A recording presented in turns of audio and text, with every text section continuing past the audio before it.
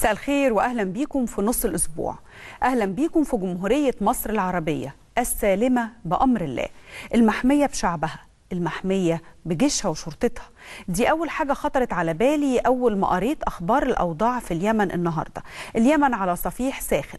الحوثيون النهارده استولوا على قصر الرئاسة اليمني بعد اشتباكات مستمرة منذ الأمس مع الحرس الرئاسي تخللها وقف مؤقت لإطلاق النار. لكن النهارده استكملت الجماعات الحوثية نشاطها وتمكنت من السيطرة على القصر الرئاسي ومحاصرة مدير مكتب الرئيس اليمني وهو بداخله.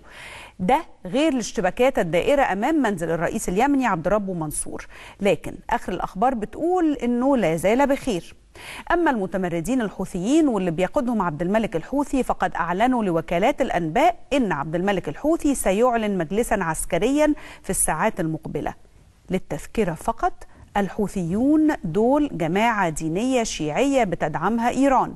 أسسها زعيمهم حسين الحوثي في 1992 ثم تحولت إلى جماعة سياسية ثم تحولت إلى جماعة مسلحة. أيام الملك عبد الله صالح كان هناك صفقات واتفاقات بينهم لتهدئتهم والسيطرة عليهم.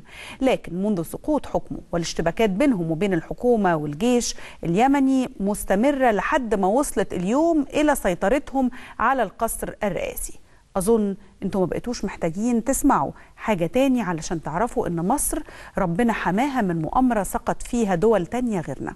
وللأسف لو ما فضلناش نفكر نفسنا طول الوقت هيطولنا اللي طالهم. يبقى اسمهم حوثيين يبقى اسمهم داعش يبقى اسمهم إخوان. اختلفت الأسماء والهدف واحد.